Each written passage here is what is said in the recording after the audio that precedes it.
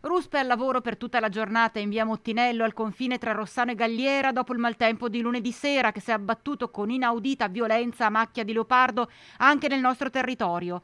In questa arteria a cavallo tra due province si sono vissuti momenti di paura e per un soffio non si è verificato il peggio.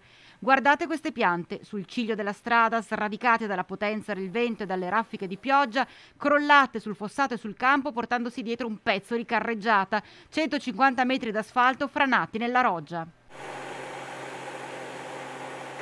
Una scena terribile ci racconta chi ha assistito alla scena e punta il dito contro il passaggio continuo di mezzi pesanti. Un vento terribile e un po' strano anche perché continuava a girare.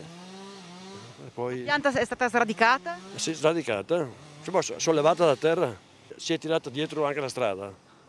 Non va bene, passano i bilici che trasportano di tutto qua, quindi sovraccarichi, sovrappesi e prima o poi succede. Sul posto il sindaco di Galliera, Italo Perfetti, e l'assessore al sociale di Rossano Veneto, Marco Zonta. Pensavamo che, che, fosse tutto molto limitato appunto a un po' di vento e a un po' d'acqua, invece poi quando siamo venuti eh, qui verso le 10 e mezza a fare un po' di verifiche abbiamo visto l'entità del danno che insomma è sicuramente notevole.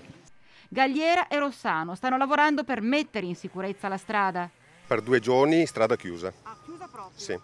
Il discorso dei camion, perché c'è chi ha lamentato eh, la forte presenza di mezzi pesanti su questa arteria stradale. So, eh, in questi due anni che sono come sindaco stiamo facendo anche una collaborazione con Rossano Veneto per vedere questa viabilità.